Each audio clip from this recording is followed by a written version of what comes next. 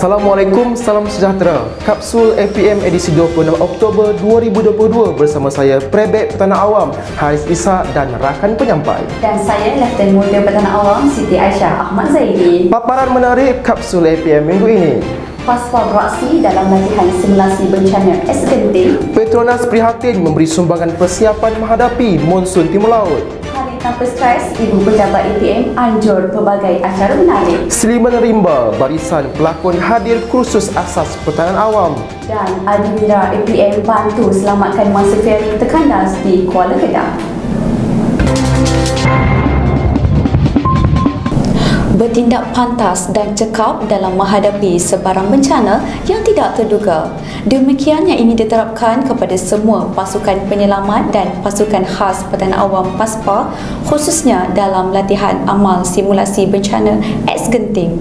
Latihan simulasi yang berlangsung pada 19 hingga 20 Oktober itu dijalankan di Terowong Genti Sempah, Pahang melibatkan seramai 21 orang pasukan khas Pertahanan Awam PASPA, Storm, Smart Team dan beberapa pasukan dari agensi lain. Simulasi menyelamat dalam bencana runtuhan itu memperlihatkan kemahiran dan kecakapan pasukan penyelamat selain menjalin kerjasama erat dalam kalangan pasukan penyelamat khas daripada pelbagai agensi.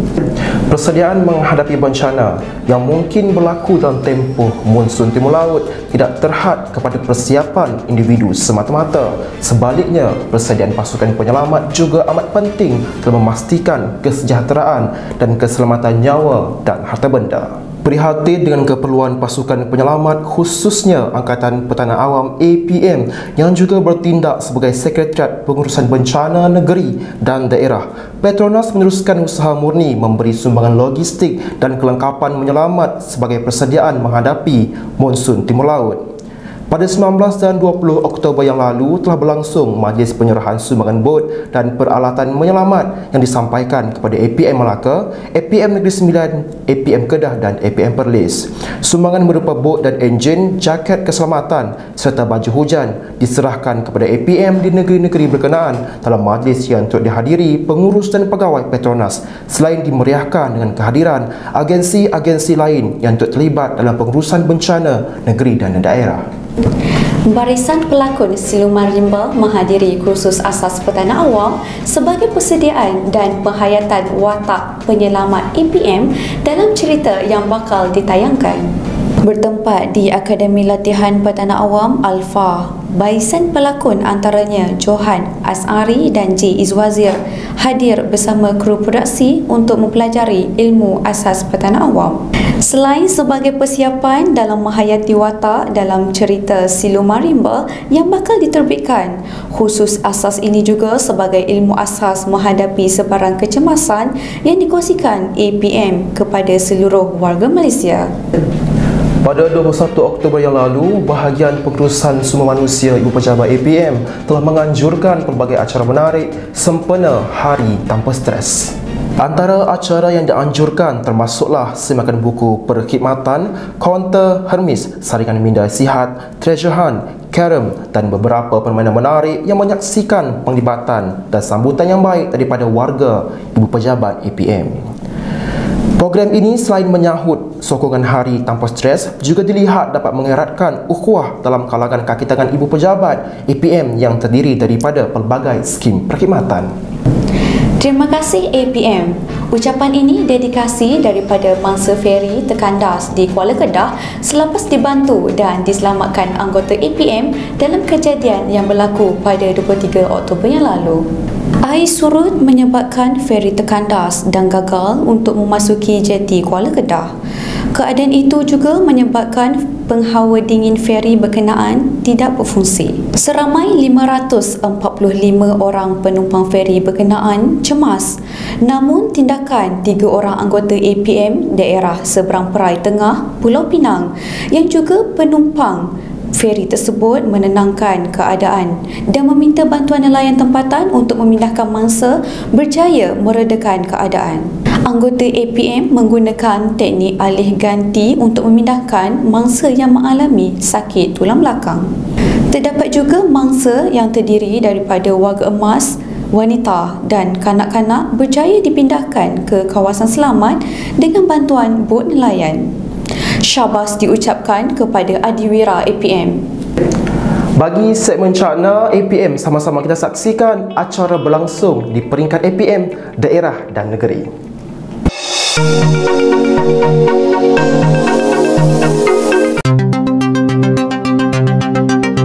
Pada 18 Oktober yang lalu, satu program latih amal bencana telah diadakan di Klub Komuniti Taman Tasik Cyberjaya Sepang. Di dalam program ini, latihan pengendalian bot penyelamat, operasi mencari dan menyelamat, search and rescue telah dilaksanakan bagi mempersiapkan semua agensi dengan aset yang lengkap dan kemahiran dan teknik yang betul dalam menghadapi monsun timur laut. APM Daerah Sepang dengan kerjasama dari APM Daerah Hulu Langat dan APM Daerah Gombak telah berjaya mempersiapkan pelbagai jenis aset dalam latihan simulasi ini seperti Rigid Inflatable Boat RIB, Amphibious Boat Sea-Legs, Aluminium Rescue Boat ARB dan Fiber Boat. Program anjuran jawatan kuasa pengurusan bencana daerah Sepang ini telah menarik seramai lebih 200 peserta daripada pelbagai agensi termasuklah Polis Diraja Malaysia PDRM, Jabatan Bomba dan Penyelamat Malaysia JBPM, Majlis Perbandaran Sepang MPS, Airport Fire and Rescue Services AFRS dan juga Jabatan Sukarelawan Malaysia RELA. Turut hadir pada program latihan ini adalah pegawai pertahanan awam daerah Sepang, Hulu Langat dan Gombak. Juga pengerusi Jawatan Kuasa Pengurusan Bencana Daerah Sepang, Tuan Pegawai Daerah Sepang, Khairi Azali bin Ibrahim. Berpindahlah sebelum anda dipindahkan. Info APM kali ini kami kongsikan maklumat arahan berpindah yang wajib dipatuhi sekiranya berlaku bencana.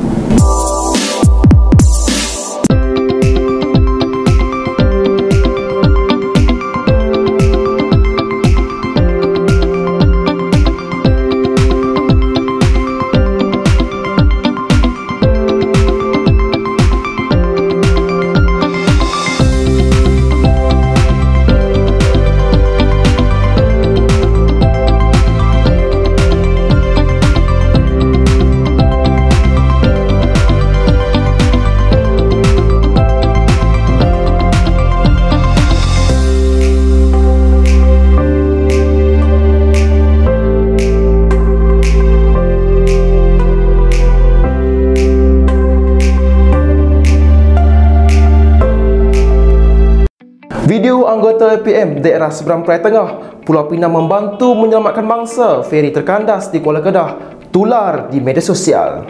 Video itu mengisi segmen apa yang viral minggu ini.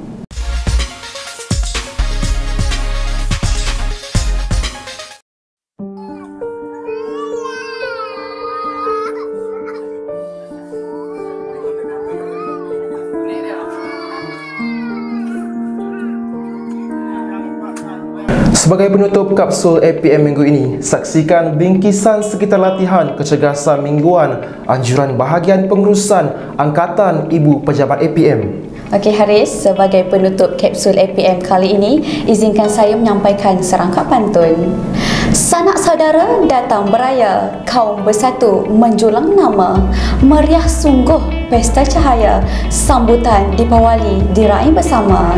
Jadi puan, sebelum kita melabuhkan tirai kapsul APM pada minggu ini, Saya Laftan Muda Petana Awam Siti Aisyah dan saya Peradip Perdana Awam Haris Ishak serta seluruh warga APM ingin mengucapkan selamat menyambut Hari Deepavali kepada semua penganut agama Hindu di seluruh Malaysia. Hanya yang sahih di Kapsul APM. Salam hormat dan, Assalamualaikum. Lompat satu kali ke dada.